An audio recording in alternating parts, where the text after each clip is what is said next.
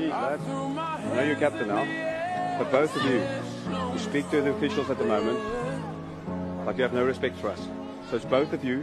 I know you're big characters. I know you're good players, both Springboks. But please, come back to the values.